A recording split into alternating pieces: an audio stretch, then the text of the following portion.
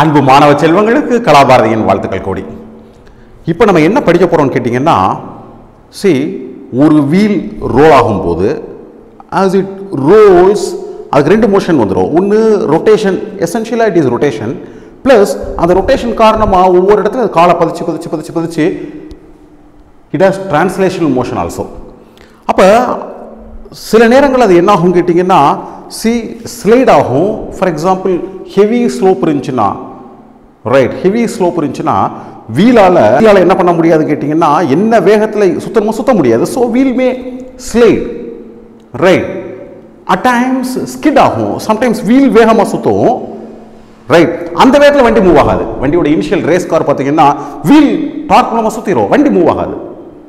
Right so that is called a slipping இந்த ரெண்டு property இருக்குது இப்போ என்ன கேட்டிருக்காங்க கேட்டிங்கன்னா ஒரு வீல் சுற்றிக்கிட்டு இருக்குது அதனுடைய டிரான்ஸ்லேஷனல் வெலாசிட்டி இவ்வளவு அதனுடைய ரொட்டேஷனல் வெலாசிட்டி இவ்வளவு அது அந்த மோஷன் ஏதாவது ஸ்லிப் இருக்கா ஸ்கிட் இருக்கா இல்லை பெர்ஃபெக்ட் ரோலிங்காக இருக்கா அப்படின்னு கேட்டிருக்காங்க. ரைட் ஸோ இது எப்படி ஆராய்ச்சி பண்ணுறதுன்றதை பார்க்க போகிறோம் இங்கே பாருங்கள் a rolling wheel has a velocity of it centre of mass five metre per second if its radius is one point five metre and angular velocity is three radians per second then check whether it is in pure rolling or not இதான் பிள்ளைகளாக கேட்டிருக்காங்க. அதாவது உருளும் சக்கரம் ஒன்றின் நிறைமையானது five metre per second திசைவேகத்துடன் இயங்குகிறது.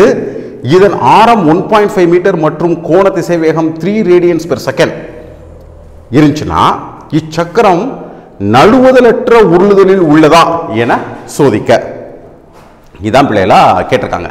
ஸோ இதை எப்படி நம்ம அப்ரோச் பண்ணுறது எப்படி அப்ரோச் பண்ணணும்னு கேட்டிங்கன்னா so this is wheel right இந்த வீல் என்ன ஆகிட்டு இருக்கு வீல் வந்து மூவ் ஆகிட்டு இருக்கு it is rotating so wheel rotate ஆகும் பொழுது it has got translational motion and rotation motion இப்போ இந்த ரொட்டேஷனுடைய பெரிஃபெரியில் இருக்கக்கூடிய இந்த வேகம் see you see this point இந்த வேகம் இந்த வேகத்துக்கு ஈக்குவலாக இருந்துச்சுன்னா இந்த வேகம் இந்த டிரான்ஸ்லேஷன் வேகத்துக்கு ஈக்குவலாக இருந்தால் அது எப்படி ரோல் ஆகும்? பெர்ஃபெக்டாக ரோல் ஆகும். நவ் அப்போ நம்ம என்ன செய்ய போகிறோம் கேட்டிங்கன்னா ரெண்டையும் கம்பேர் பண்ண போகிறோம் என்ன கம்பேர் பண்ண போகிறோம் அதனுடைய ரொட்டேஷன் காரணமாக கிரியேட் ஆகக்கூடிய வெலாசிட்டியும் ஆக்சுவல் வெலாசிட்டி ஈக்குவலாக இல்லை ஈக்குவலாக இருக்கா இல்லையா actual velocity five metre per second கொடுத்துருக்காங்க ஸோ ரொட்டேஷனுக்கு எப்படி predict பண்ணுவீங்க it is simple it is R into omega V is equal to R into omega. So this is R is 1.5, omega is 3. So ரெண்டே multiply four you will get 4.5. 4.5 meter per second. So now you observe அப்போ என்னென்னா rotation காரணமாக அவனுடைய வேகம் four point five தான். ஆனால் five metre per second போகுது. அப்போ என்ன அர்த்தம்? என்ன அர்த்தம்? அதில் ஸ்கிட்டிங் இருக்குது என்ன இருக்குது ஸ்கிட்டிங் இருக்குது வெறுமனே என்ன இல்லை? பெர்ஃபெக்ட் ரோலிங்காக இல்லை. ரோலிங் இஸ் தர் அதனால் மோஷன் இருக்குது ஸோ ஆல்சோ அதில் என்ன இருக்குது ஸ்கிட்டிங்கும் இருக்குது இதை புரிஞ்சுக்கிறதுக்காகத்தான் இந்த ப்ராப்ளம் கொடுத்துருக்காங்க.